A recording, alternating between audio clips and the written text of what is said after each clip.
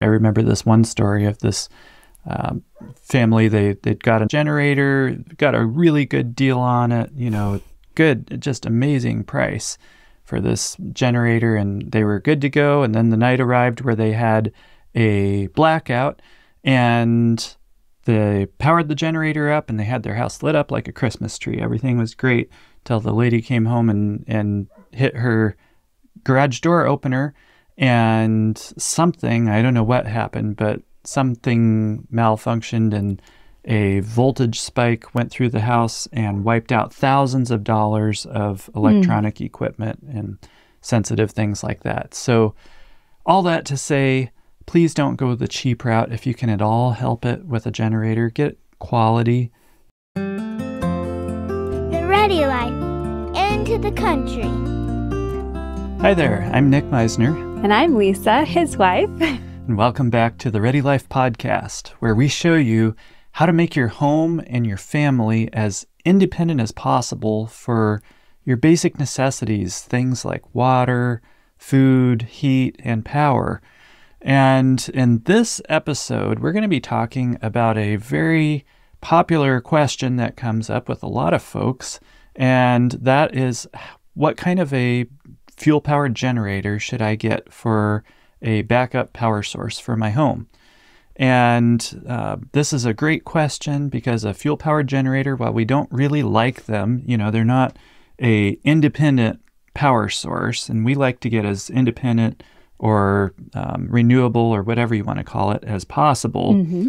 But they do have their place and they can be a great backup. We don't like them as a primary power source for sure because then you're dependent upon fuel and the you know you're going to be running the engine like crazy. I have seen people use a fuel powered generator as their primary power source. Oh yes, oh yes, like twenty four seven, and that's it's not common. So not a lot of people, but there are some folks that have done that, and it takes a lot of fuel, puts a lot of wear and tear on the engine. You burn it up, you know, before too long. It doesn't last all that long, and yeah, not a great option, but it does have its place, and that's what we're going to talk about today.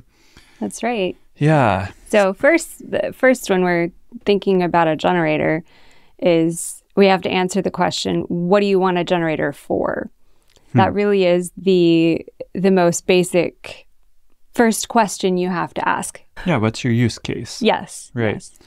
So, you know, one option, the the first one that comes to my mind that's a common one that a lot of folks are looking for is they have a conventional on the grid home and they want to uh, have a generator there for a time when there's a blackout or something mm-hmm. like that and they want the generator to power everything in their home as if the power wasn't even out just make it where it just per, their home just keeps running the same as it did when it when the power was on well with a few lights turned off perhaps no, I mean with everything. With everything on. running. The, okay. Yeah, some folks want that.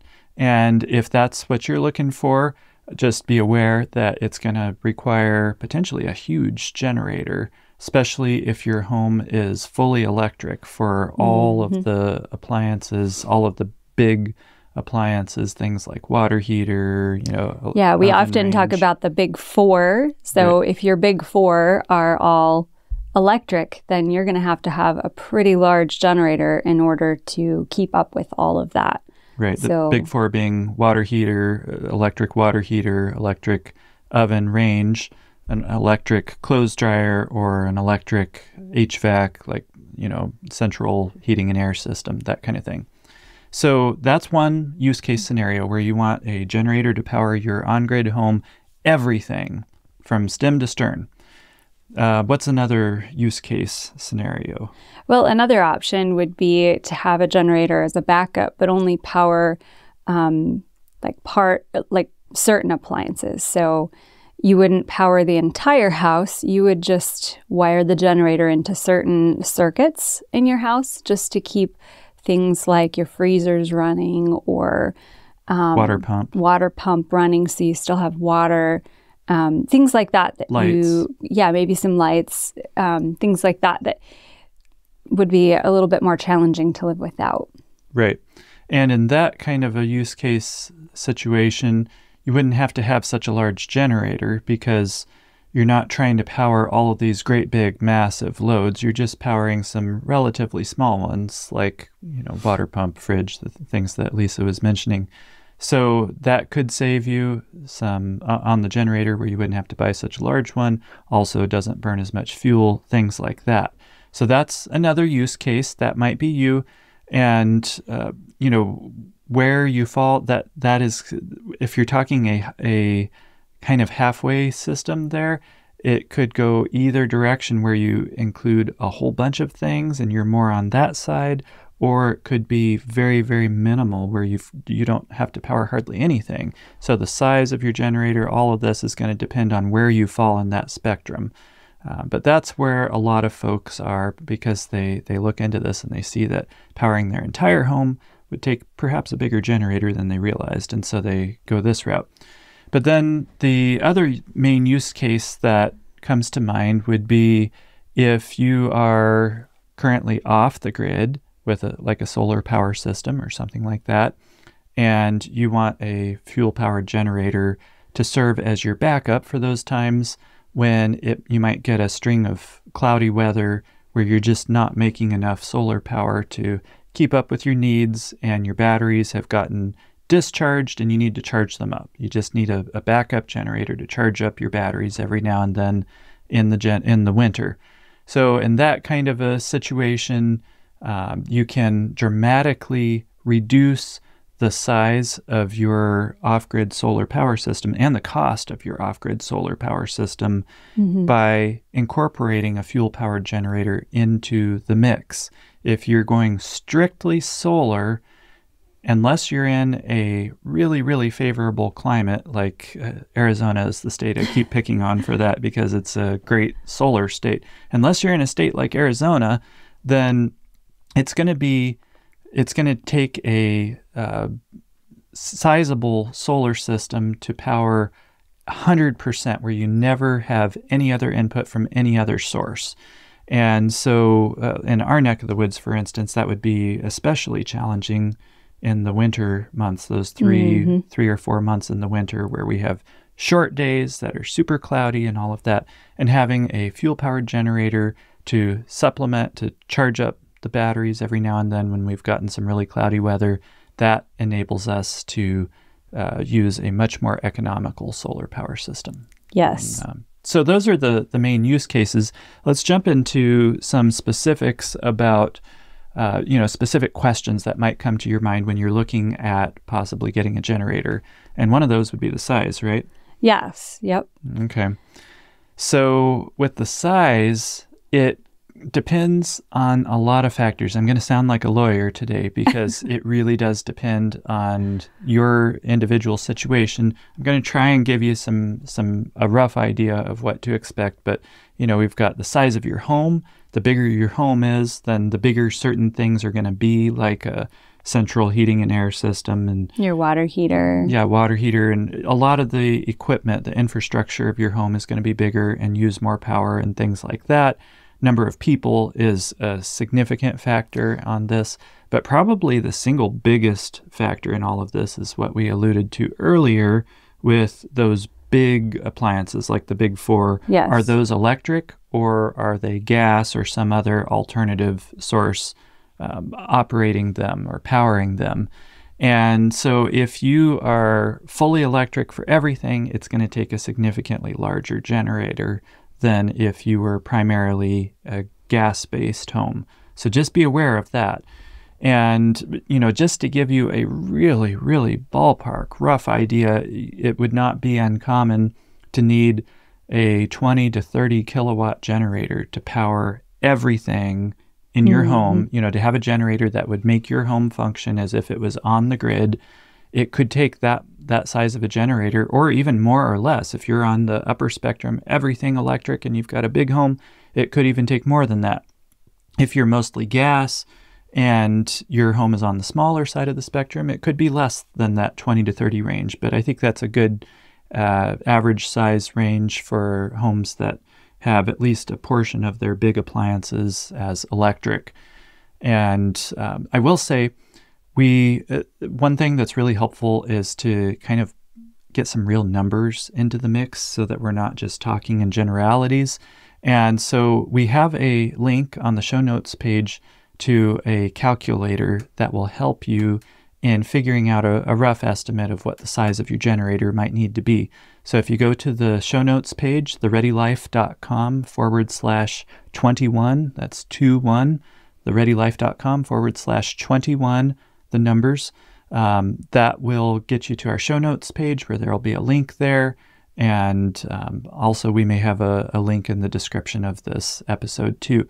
So check that out. You can customize it there and get a better, more accurate idea of what to expect. But that's what you're looking at for the full home setup. Now, what what's our um, next option or category that we need to look at with generator sizing? So then the next category, which we already mentioned earlier, is if you decided to just power part of your home, just mm. more of the essential appliances and maybe some lights, um, like your freezers or fridge, your water pump, um, maybe one or two other things. So you wouldn't need as large of a generator, obviously, just to power a few items. Right. And, you know, as far as what size, once again, it depends. I'd use the calculator that I mentioned before to figure out the specifics for you, which items you want to power at the same time. And, and but, you know, 8 to 12 kilowatts might be a, a decent range to think of. Um, you know, it, it just all depends because it just depends on how many of those circuits you're going to throw in the mix here. And whether you've got an electric water heater or a propane one. Too. Yeah, but we're saying no, we're, or, we're leaving off the yeah, big stuff here that's true. for this particular option. We're leaving off that stuff. It's just the essentials, but you know, the size of your water pump. If you've got a gargantuan water pump, then you might that's going to impact things and if you if you're that's on the true. larger side of other things. So but uh, I hope that gives you some si- some sort of an idea of what you might be expecting with a system or with a generator that's just running, you know, the more commonly needed necessary items in your home. And then we come to let's see what was the third so the third one is an off-grid power mm, system. Yes. You would use a generator perhaps to cut the cost of your power system and then you'd have to use that to just supplement during the darker, uh, cloudier days. Right. So for the size that you'd need for that, I mean, there are people that charge their batteries with a two or three thousand watt generator. It, it can be done, but that's not what I recommend. I would recommend a bare minimum of five kilowatts and mm-hmm. preferably in the six to eight kilowatt range, plus or minus. If you have a really large power system, a large home, then you might want to go a little higher. You might want to go 10 or even 12.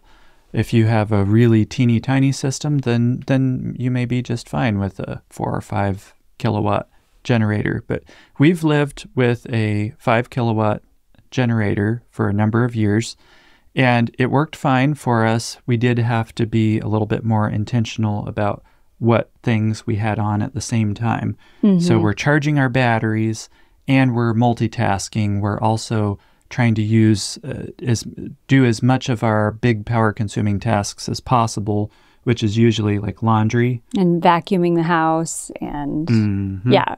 Right. Sometimes you run the waffle iron when the generator is going or things like that. Not that you have to. Yeah. It just makes sense. The generator's running anyway, so and it you know just plugging in a few more things isn't going to use much more gas at all. Mm-hmm. And so it, it, just makes sense to do that. Multitasking saves, uh, it makes everything a lot more efficient. And so if you're doing that, then having a larger generator enables you to do more multitasking. When we were operating with a five kilowatt generator, we could do a certain amount of multitasking, mm-hmm. but we would start getting close to, we would be kind of maxing it out at times. Yeah. And which is okay uh, you know, the the advantage to having a smaller generator is that they, all other things being equal, it doesn't use as much fuel as a larger generator. Mm. But um, you know, it, it's it's up to you. Like I said, people have have done all right with a teeny tiny generator, like two or three kilowatts. But all they're using that for is charging the batteries. That's it. They're not doing this multitasking that we're talking about. Yeah. And once again, use the the um, generator size calculator to help you out there in figuring out what items you you want to run. The thing that you're going to add, the thing that's going to be different about this than a conventional home setup is that you're also going to be adding charging the batteries into the mix. Mhm. So it's going to depend upon the size of your charger that's charging your batteries. So that's generator size, a little bit about generator size. I hope that's helpful to you, and I think the calculator will be. What else? What are the other items that we wanted to? So other factors you want to look at is like the fuel type. There's more than one type of generator that like uses different types of fuel. So you could get, um, for example, a gasoline generator, which is what we have, um, or there's also a diesel generator, which uh, mom and dad have one, and then there's a propane generator, which we actually did have a propane generator when we first moved here but then we eventually switched to a gas powered generator. So I think those are the three primary type of generators. Obviously, there's all kinds of generators out there that yeah, you might be able to come up with, but right. So you might be wondering why did we pick a gasoline generator, and is that what we recommend for everybody? Not necessarily. We picked a gasoline generator uh, for for one reason. We don't run the generator that much. You know, for the majority of the year, we are 100% solar. It's only for those few winter months where we're topping the batteries off with the generator. So we don't put that many hours on it. And uh, because of that, it wasn't as important of a decision for us which one we went with. Uh, we, we did want quality. So we wanted Yeah. a good quality one. But as far as, you know, when, when we dig into diesel, you can see some benefits there that we didn't need. And uh, yeah, propane has some definite advantages as well. But I guess we should dig in to Yeah. each one. why why gas? Why Yeah, diesel? why so- propane? D- As far as gas goes, one of the things that I like about a, a typical gasoline generator is it is somewhat portable. Even if it's on the larger side, yes, it can be a bit of a pain, but they'll usually have wheels on them of some sort, and you know, a couple of guys can pick it up, put it on the back of a pickup, and haul it into a shop if it needed to be repaired or something. Or a couple, not Yeah. just a couple of guys. We did it, we picked it up. I thought we ran it down the ramp off of the. Mm-hmm. but to get it up on the trailer, we got it. We picked it up, Hmm. ish. Or you can use a come along. Yes. we, we use a come along a lot because we don't have a tractor.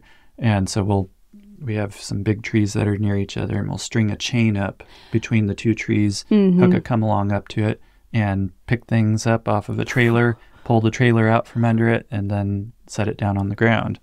Yes, yes. I, you know what? I do think we pushed it up a ramp to get it on the truck, Mm, okay. but we did it. Yes. Yeah. And I think I think we used the come along. We use a come along a lot. We do use Yeah. a come along a lot for a lot of things Yep. to kind of make up for a little bit of lack over here.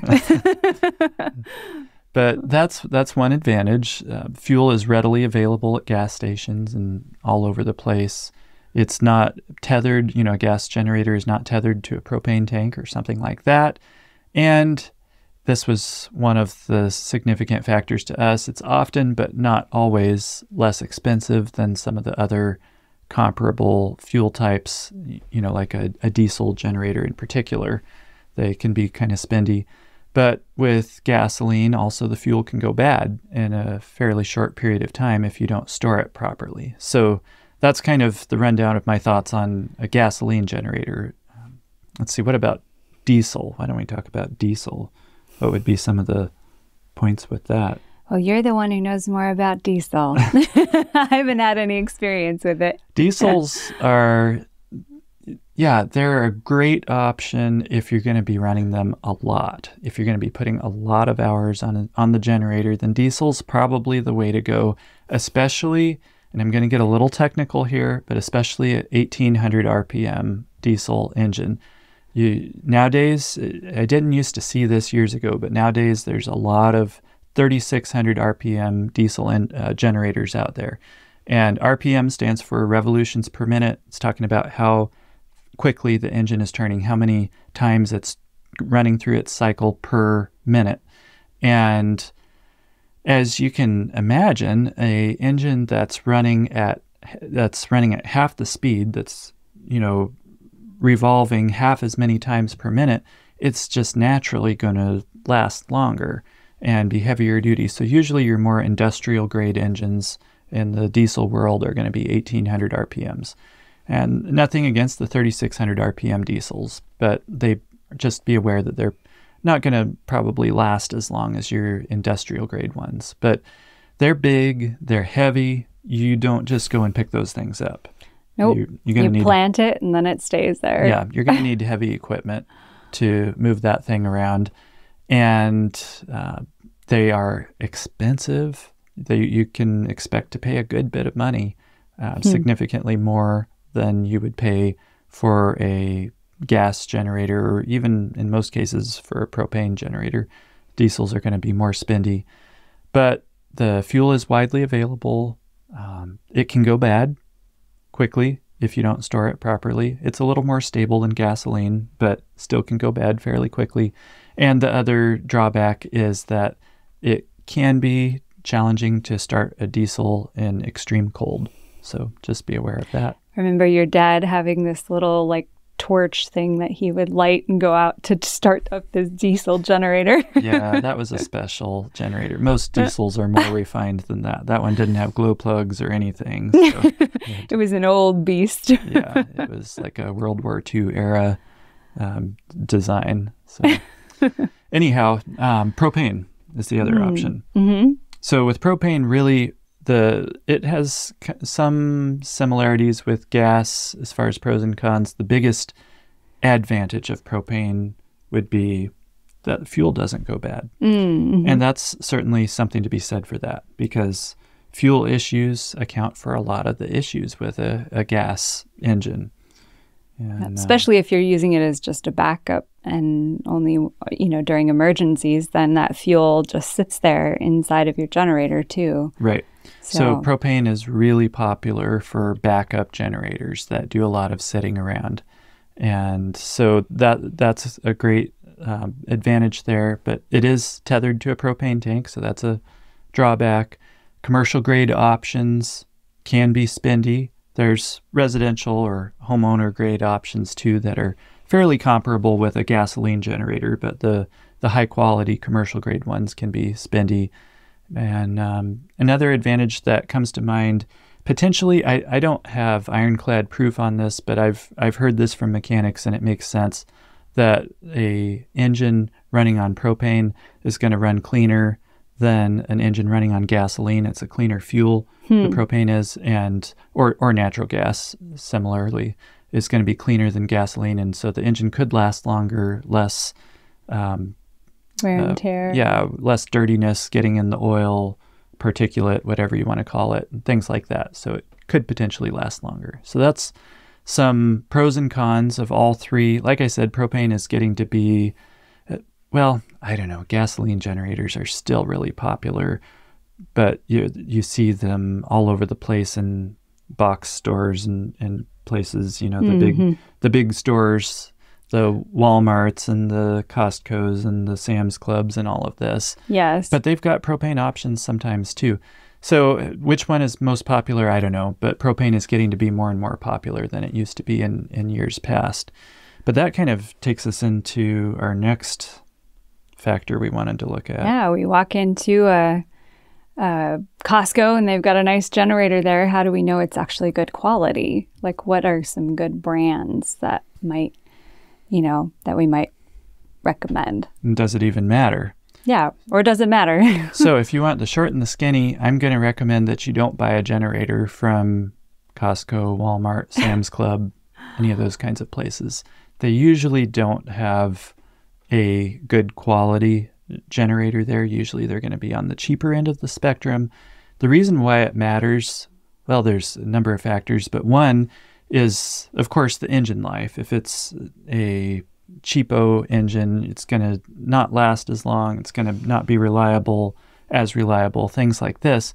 But even with some name brand engines. Like you'll sometimes see a generator that has a Honda engine in some of these mm. stores, mm-hmm. and they really make that prominent. And you think, oh, I'm getting a Honda generator, but look closely.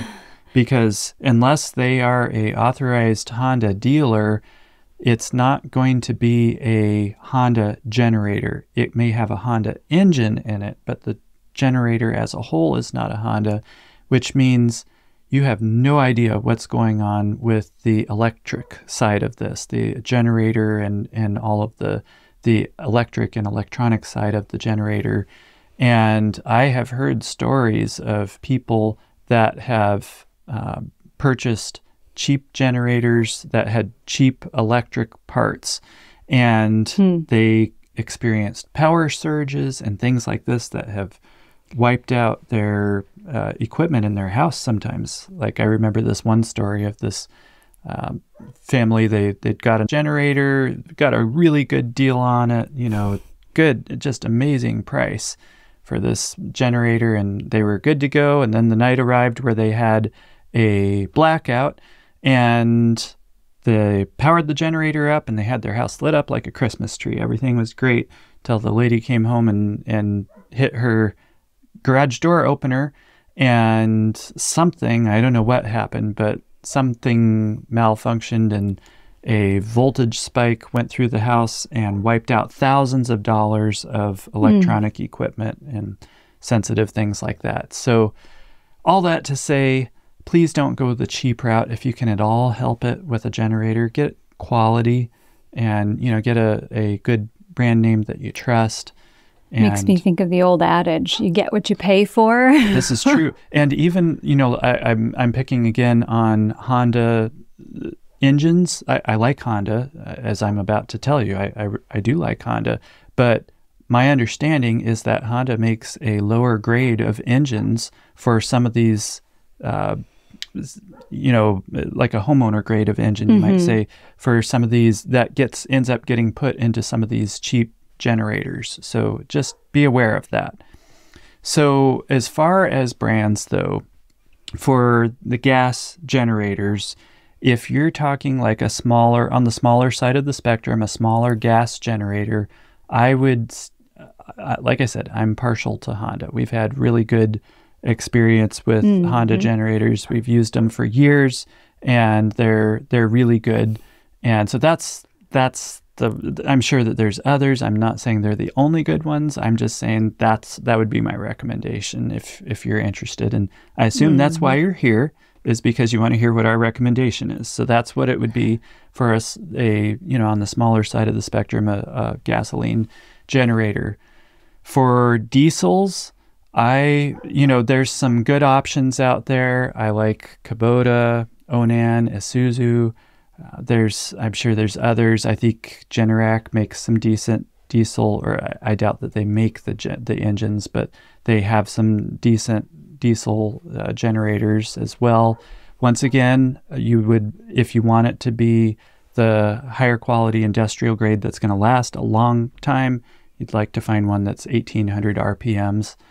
Um, and for propane, there's Onan and Generac has both of those have some decent options. And even some gasoline generators can be converted over to propane. You can sometimes find kits for some, even Hondas. Uh, yes, it might void the warranty, perhaps.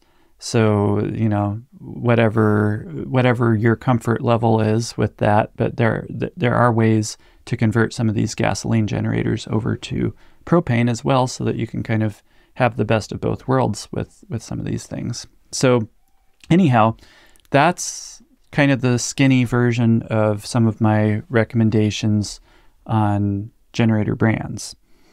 Hmm. Now, I do have something, one quick thing that I wanted to mention. This may sound a little bit technical. Please bear with me. I'm not going to spend very long on it. So, so just just hear me out.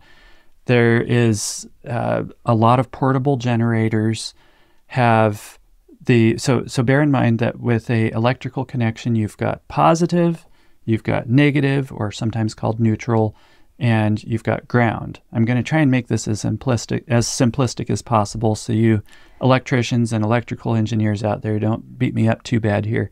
But just simply we've got positive, negative or neutral and ground. And with with uh, a lot of portable generators that are made for like job site use, we're talking the kind of generators that you can pick up and haul around to a job site.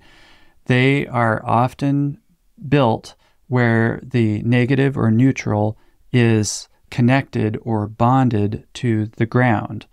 And that is, we call that, you know, neutral bonded to ground or something like that. And and the the reason I'm bringing this up is because um, if you are using that generator independently of anything else, you're just plugging something into the generator and running it. That's great, and they set it up the right way for that kind of a scenario.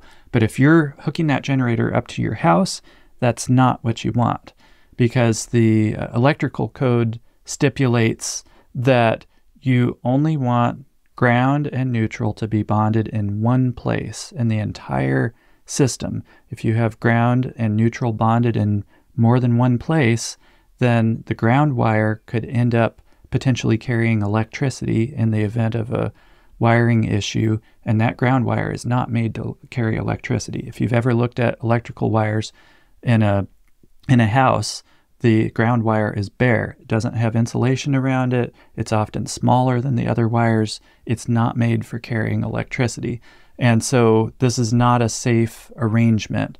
If you take a generator where the neutral and ground are bonded and you hook that up to a house, that's not a good situation. So that's one thing you want to look out for. You, you can look in the literature or ask the company that you're buying it from to satisfy you that it that the neutral and ground are not bonded. If you are unable to find that in the literature, one quick way of doing that, if you have a voltmeter, and and once again, bear with me. I know this is a little technical here, but you guys out there that are a little familiar with electricity, you may have a and, and I, I, say you guys, there's some of you girls out there that are good. Mm-hmm. Lisa's really good with stuff like this too. Sometimes. So she would she'd be all in on this too. But you take your voltmeter, put it into continuity mode, which is where it senses if two wires are connected together. If you touch the two probes together, it beeps. And when it's in continuity mode, stick one of those probes, of course, generator's off. Don't do this when the generator's running. Stick one probe into the neutral or negative uh, part of the receptacle and one into the ground. If it beeps, then those two are bonded or connected together. If it doesn't beep, then they're not. So that's kind of a quick and easy way. And check that in the receptacle that you would be plugging into. So thank you for giving me my two minutes of technical um, stuff there. Just wanted you to be mm. aware of that. And let's see, anything else you can think of? Yeah. So transfer switch. Because mm, you don't want to yes. electrocute the lineman if you uh, hook up a generator to your house and you turn it on when there's a blackout, you could be sending power back down the line and electrocuting a poor lineman. Right. Trying to get the power back on. Right. Years ago, folks would take a generator and just um, rig up a wire where they could plug it into a receptacle in their house or something like that. And that's a big no no. Yeah. That's illegal and unsafe. So don't try that. Use a transfer switch, makes it impossible for you to be hooked up to both the power company and your generator at the same time. Makes it where it's one or the other, but never both. So that's really important. You'll need to get an electrician to wire that into your home. And uh, that's actually an, that whole nother topic. We don't have time to talk about that on this particular episode. If you'd like to see an episode about transfer switches, because there's a lot of options there, then let us know. Leave a comment. If yeah. you're on YouTube, leave a comment below this video. If you're not, um, feel free to head over to YouTube and leave a comment there, or you can leave a comment on the show notes page at thereadylife.com forward slash 21 or you can send us an email at questions at thereadylife.com and let us know about if you'd like to see an episode on that or something else. We always love to hear ideas of, of what you'd like to hear about. One last thing I was thinking of you mentioned that the gas and the diesel generators, obviously the fuel doesn't store for very long. But we actually did an episode um, here on the Ready Life podcast where we talked about fuel storage and ways that you can store um, diesel and gasoline for a much longer period of time without it going bad, including the gas that's in your generator. Yeah, good point. What episode was that? So uh, I think that was 18. the. That's right, 18. So just go to thereadylife.com forward slash 18 and you can watch that episode there. That's right. That's right. And don't forget about maintenance with your generator. This is key. I mean, it's key whether or not you use your generator a lot. I was going to say it's key if your generator is going to be sitting there because it's so easy to forget about it, but it's key if you use your generator a lot. So, yeah. all the way around, make sure that you keep up with the maintenance, oil changes, air filters, all that kind of stuff. Fuel, what you were just talking about, fuel storage. Mm-hmm. If your generator is carbureted, if it has a carburetor, turn the fuel off and burn and keep the engine running until it dies from starvation, fuel starvation, uh, so that it burns the fuel out of the carb. Do that if your generator isn't going to be running for a little while, for a week or more.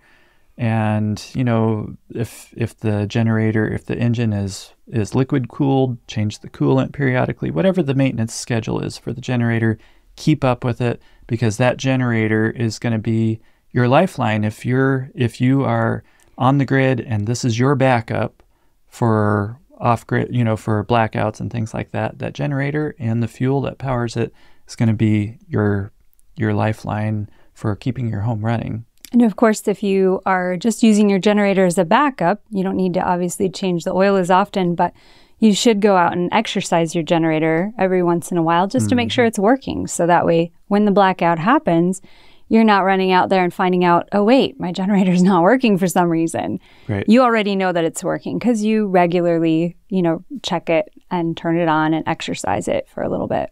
Right. So, right. anyway. Cool. So, um, just kind of in summary, I, I think I mentioned earlier that that I'd touch on why we went the route that we did. I'm not recommending it for everybody, but we have a Honda EU series generator, uh, which is the inverter type generator. We have the EU 7000, and it's uh, I chose that because, um, well, first of all, I liked the inverter generator where it would not where it's able to idle down when you're not using as much power. Mm-hmm. So, uh, and when you're using your generator to top off your batteries in an off grid system, there's periods of time where you're not using very much power. You're, if you're trying to get your batteries fully charged periodically, then there are those times, especially at the end of the charge cycle, where you're not putting a whole lot of power into them.